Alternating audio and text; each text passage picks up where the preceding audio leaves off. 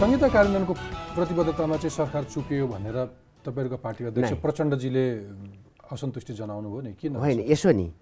सङ्घीयतालाई कुन रूपमा हामीले बुझ्ने? सङ्घीयता छुट्टा छुट्टै देशहरूको सङ्घीयता होइन थियो। नेपालको सङ्घीय प्रणालीभित्रका तिनवटा शासकीय प्र इकाइहरू थिए ती। त्यसरी बुझ्नुपर्छ। मैले यसो भन्दा के हुन्छ? तपाईँहरूलाई कुनै पनि अधिकार तल दिन मनै छैन। केन्द्रमा आफै आफ्नै हातमा सबै आफ्नै हात जगन्नाथ हुन चाह त्यसरी त्यसरी त सङ्घीयता सफलै हुँदैन त्यसो भए किन प्रचण्डजीले त्यो भन्नुभयो कि तपाईँहरू यहाँबाट होइन उहाँले कसरी अधिकार दिन स्थानीय अब। पार्टी अध्यक्षले त्यसरी किन भन्नुभयो म त्यता जान चाहन्न